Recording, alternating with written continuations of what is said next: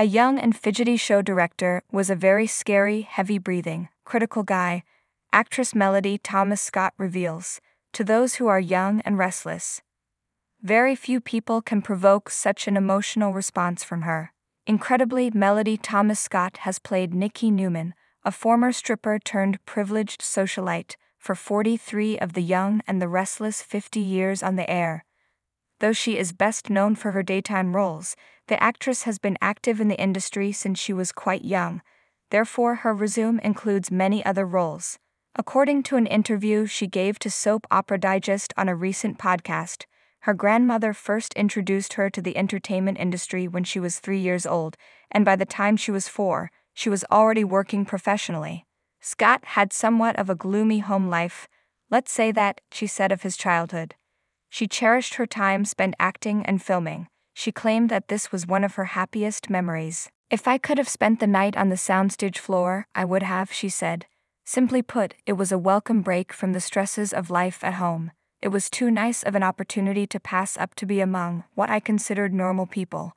Everyone on set was always extremely nice to me the director, the assistant director, even Hitchcock himself, although I had already made that comment. Of course, the Hitchcockian issue is the one and only Alfred Hitchcock, the self proclaimed master of suspense, Scott's first film role, as a younger version of Tippi Hedren's character Marnie, came when she was just eight years old, but she had already been acting for some time. He was just another filmmaker in Scott's eyes. For the longest time, I had no notion who Alfred Hitchcock was. In retrospect, it was clear that I was a child of the 80s. But she quickly recognized this man for who he was, and not in a good way. Marnie was a landmark debut for Hedren, Hitchcock, and Sean Connery. In any case, Scott didn't have a good time with it.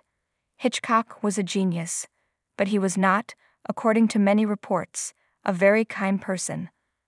Legend has it that Hitchcock once called performers cattle, but the director always denied this.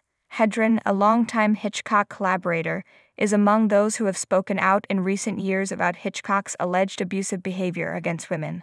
Although Scott avoided discussing these topics, she said coldly, I very quickly understood that he was a very terrifying, hard breathing, critical guy, which a large percentage of people will accept at face value if I tell them. He was as expected in every way.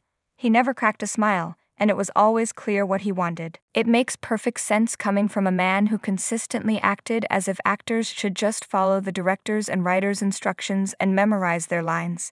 It's very different from daytime shows, where actors are encouraged to inject their own personalities into their roles, and who, after playing their roles for so long, frequently know their characters better than the directors and authors. Scott speculated, perhaps I didn't exactly get what he wanted because I was a kid. It was arduous. We had a challenging shoot. This dude is terrifying.